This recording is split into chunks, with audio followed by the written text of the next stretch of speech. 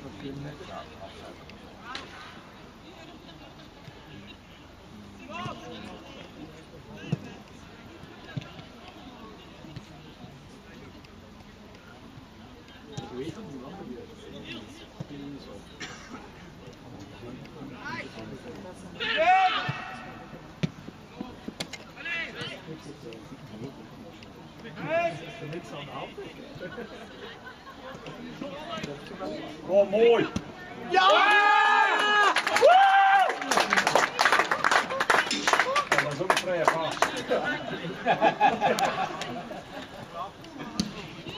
Lekker bal jongens, goed gespeeld. Hij zit erin.